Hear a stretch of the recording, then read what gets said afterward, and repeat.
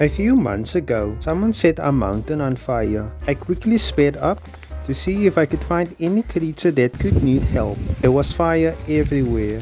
I spotted this green mantis in the corner of my eye. I picked him up and made my way down the mountain. I released him in our backyard. He's okay. Full video coming soon.